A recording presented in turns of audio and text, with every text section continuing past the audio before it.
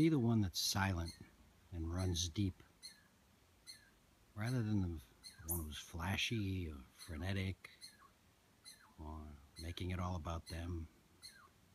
Be the one who brings calmness to the situation. Bring the one who brings wisdom and experience to each situation. You'll be a powerful force for those around you, for the spirituality and mindfulness of your environment, and for your, your own self and how you go through life. Live long, live well.